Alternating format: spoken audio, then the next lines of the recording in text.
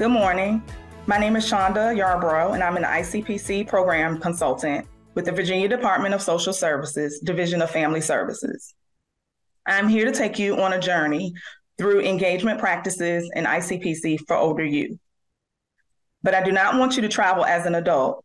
I want you to travel as someone who is between the ages of 14 to 17 years old to represent those that have been through the process and those that will at some point in their lives. Out of the 20 years, 20 plus years of experience, my most memorable involves older youth. I love working with older youth. I love how they react when adults try to use their language, but I really love when they speak their minds and use their voices to advocate for themselves. I wanted to connect this passion with my ICPC experience. The ICPC, also known as the Compact, is a uniform law designed to ensure the protection and safety of youth who move across state lines for the purpose of foster care, adoption, placements with parents and relatives, and residential care. But the ICPC is not just the law. It is another opportunity to support the permanency needs of children and youth in child welfare by assessing an out of state family's ability to meet their needs. Distance will always be a factor when using ICPC. We have to work harder to engage those involved and directly impacted by its use, meaning older youth and the out of state families. Just an overview of Virginia's data with ICPC and older youth. Between January 2022 and August 2023, we had a total of 123 cases. 23 cases were pending, meaning that a placement decision had not been reached.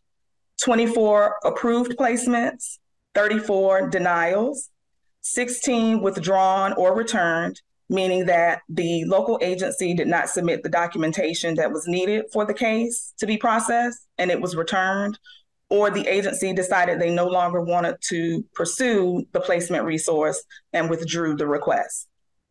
There were 19 placements, and there were eight youth that achieved permanency outcomes. Before I talk about the primary issue in my ARP, I do want to talk about what led up to it.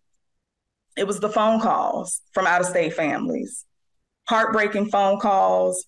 Families are extremely frustrated with the ICPC process, and it created a visual of the Wizard of Oz and the ICPC process being a tornado, very complicated to navigate.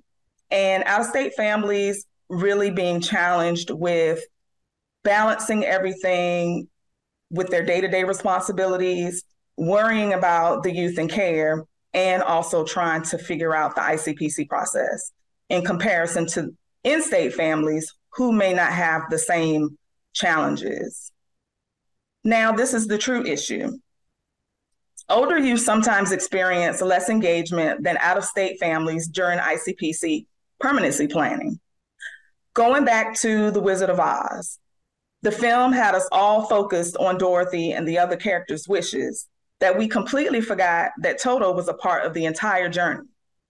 This is what I imagine is the experience for older youth who are involved in the ICPC process.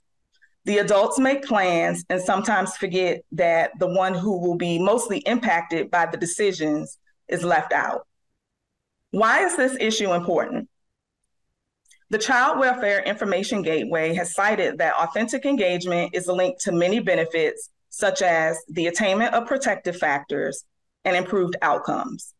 So, when we authentically engage older youth, we're helping them with developing higher confidence, helping them to be able to problem solve and self regulate. We're also helping them with placement stability. And once their placement is stabilized, we know that they will more likely be able to achieve permanency. It is important because we want you to be successful. Moving in general, whether it's in state or out of state, is a huge transition. So when we're talking about youth having to move from outside of what is familiar to them, we need to make sure that they are engaged every step of the way. I like to add a quote from the publisher, Mindy Hall, who said, Every action has an impact. Choose wisely the impact you want to have. So we have to decide whether or not we want youth to be successful. And that means authentically engaging them in planning, placement requests, preparing for placement, and achieving permanency. In my ARP, the steps of the ICPC process consist of planning, placement requests, preparing for placement, and achieving permanency. I will go into more details about what should occur within each step later in the presentation. My PICO. My PICO was developed based on the assumption that staff were not prepared to engage youth in the ICPC process. So, if staff receive training regarding engaging youth ages 14 to 17 in DSS custody and ICPC permanency planning, will it lead to increased staff knowledge and ultimately family and youth satisfaction and shorter timeframes to achieve permanency? So, talking about family and youth satisfaction, that means will their process be less frustrating, less stressful? And in terms of shorter time frames, we know that with ICPC, there are some things that will be outside of our control, such as the court involvement and the other state's time frame to complete their steps. So I'm referring to the time frame it takes for the local agencies to submit an ICPC request after engaging the youth and the out of state family. During my literature review, I used the following terms to search for literature youth engagement, permanency, and ICPC. And here's what I found Child Welfare Information Gateway provided a bulletin for professionals highlighting the importance of youth engagement with concepts and strategies to apply to their practice.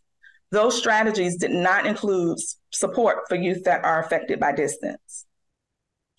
The Quality Improvement Center on Engaging Youth and Finding Permanency provided a survey to 24 states in which they responded on how youth engagement is supported by the child welfare systems across the nation. The survey results did not specify ICPC involvement. Wallen, Vanderwill, Peters, and Day summarized eight themes of barriers regarding youth engagement. There was one reference to out of state placement being a barrier to engagement. Distance was not identified as a theme. The Youth Policy Institute of Iowa conducted surveys to highlight the extent to which young adults in Iowa were involved in transition planning and feelings about the transition from foster care to adulthood. Results did not identify ICPC involvement. I also conducted a literature review just for information specific to ICPC. Nzekwu highlighted background information on the ICPC, its underlying problems, and arguments for modifications. Sankaran surveyed to determine problems with ICPC, the length of time it takes to complete it, frequency and reasons for denials, and the appeals process for denials. So, with the limited information on ICPC only being limited to the procedures, process, and the challenges, that would mean that child welfare professionals would have to be intentional about applying current best practice tools and resources to ICPC engagement. Here's my methodology and process. Step one was submitting the information to the Internal Review Board or the IRB. Step two, case reviews. Step three is recruitment of LDSS workers and former youth in care who have experienced the ICPC and out of state families for the purpose of interviewing them. Step four was conducting interviews. Step five is the intervention. And step six is the qualitative analysis of the data.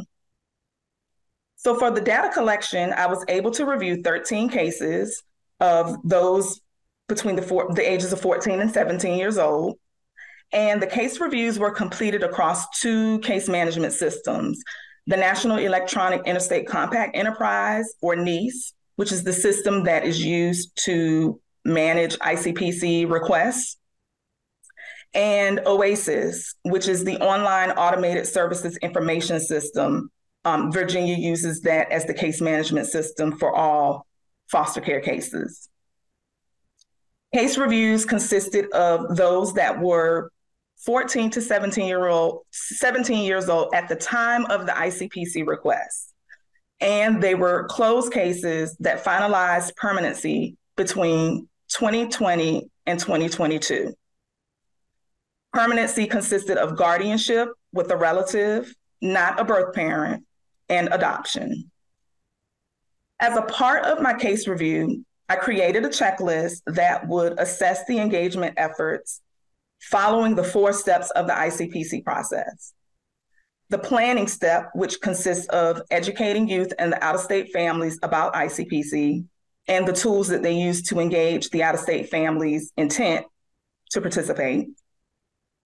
The placement request step, which is the inclusion of youth input in the request documents, submission of the request within 45 days of engaging the older youth and the family.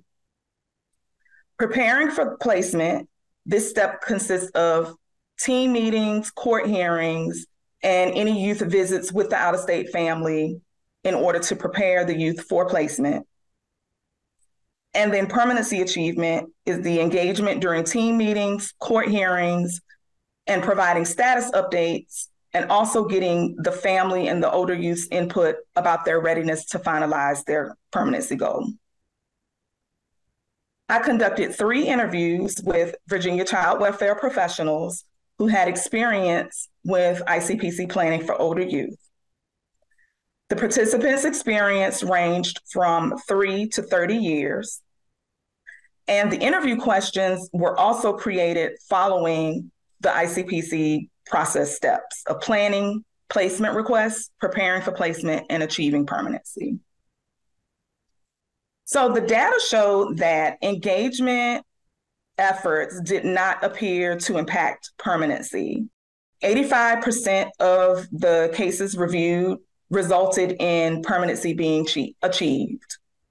But it did raise the question of whether or not youth just followed along with the plan because it was easier or they felt that there were no other options.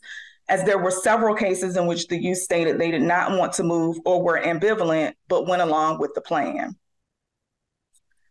All cases were not submitted within 45 days of engagement. And all of the cases were not, there was no engagement for readiness to finalize permanency. Data from the interviews all participants understood the importance of engaging older youth and out of state families in ICPC. They valued communication as the key to engagement. And two workers provided input regarding the need for training and visual resources to support their engagement efforts. One of the things that I also did during my case reviews was to describe the engagement styles that I found at that time. And so, decoration, present but not engaged. This is where the youth was invited to participate in a meeting or a court hearing, and they were simply present, but there was no engagement of the youth.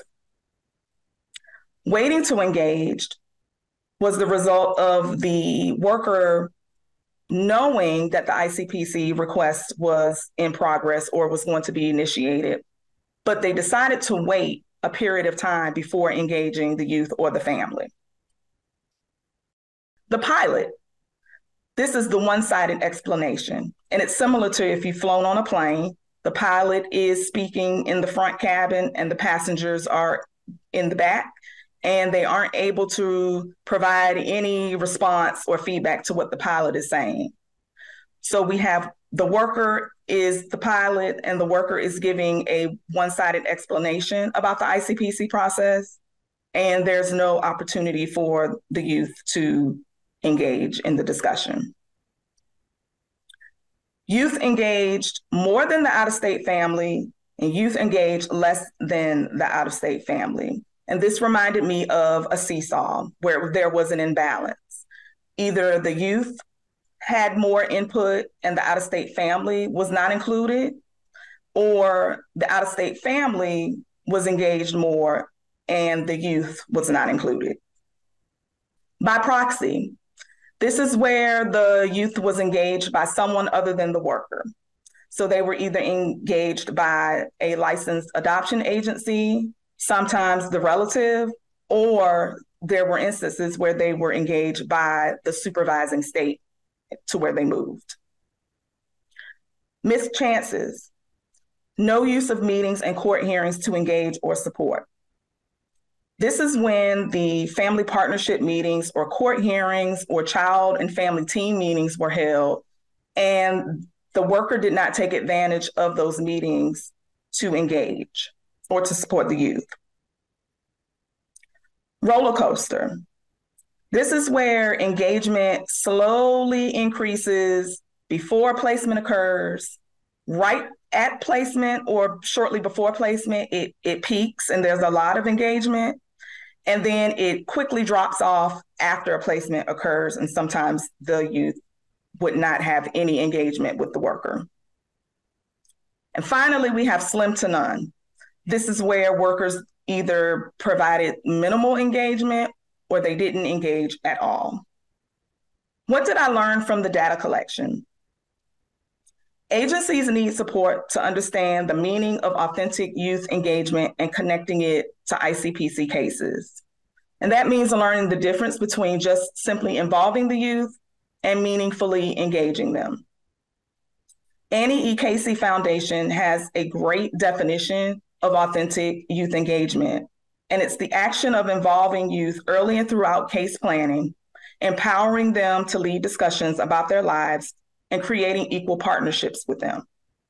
The ICPC process is lengthy enough to allow time for this level of engagement work to occur. Agencies also need support on how to highlight engagement efforts in ICPC documents and case notes.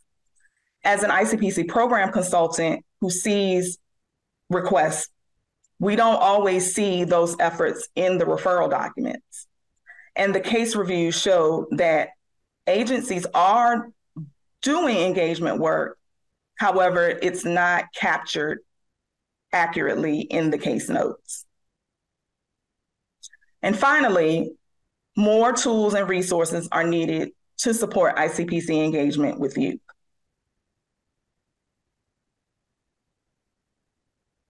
Challenges and limitations to my ARP. Recruitment.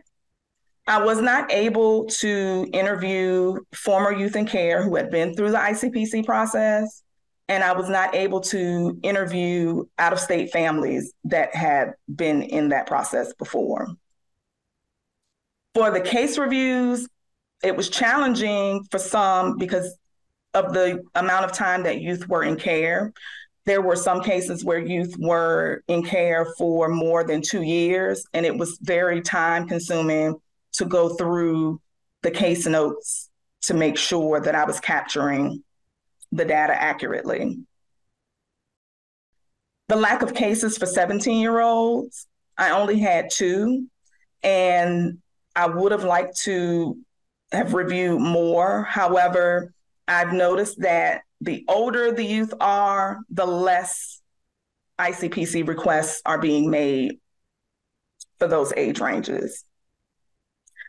And then workers' experience with only one to two ICPC cases.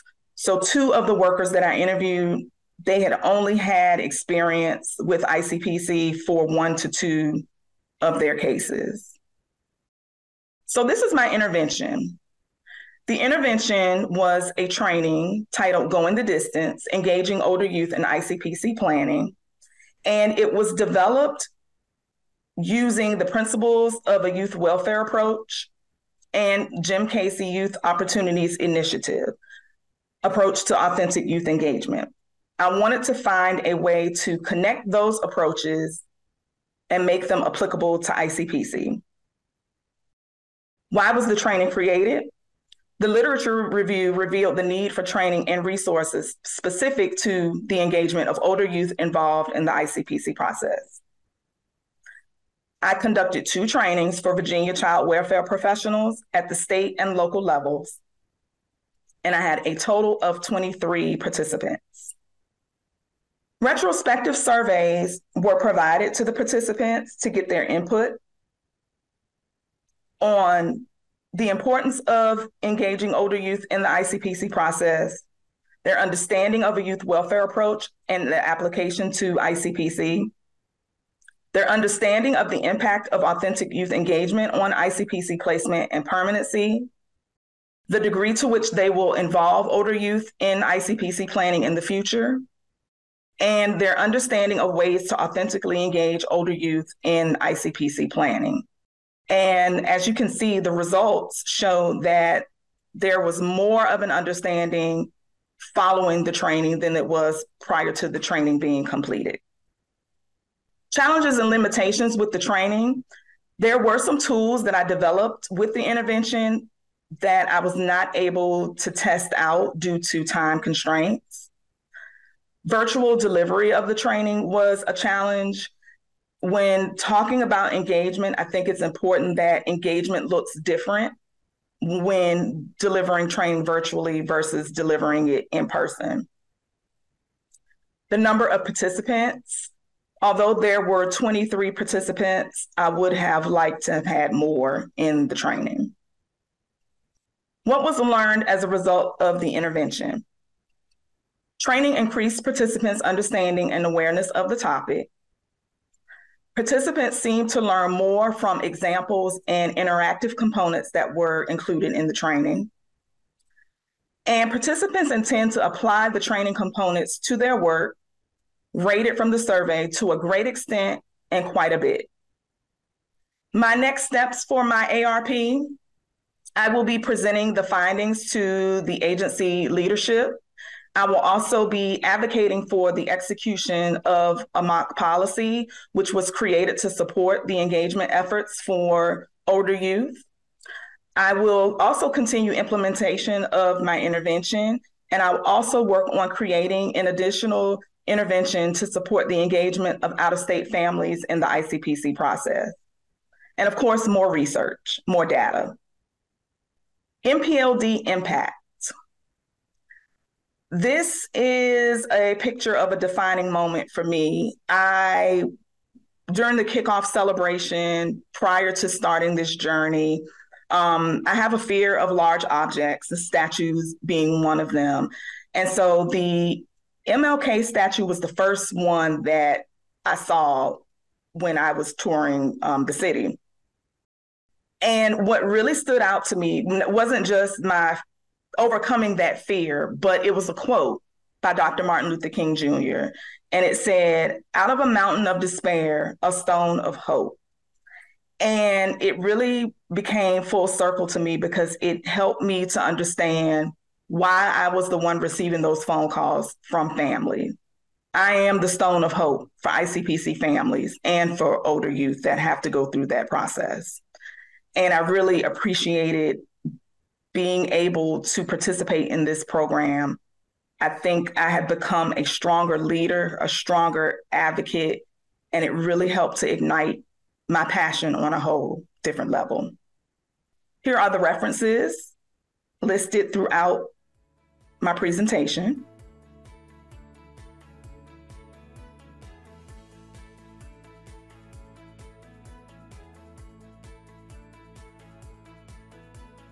And that concludes my action research project. Thank you.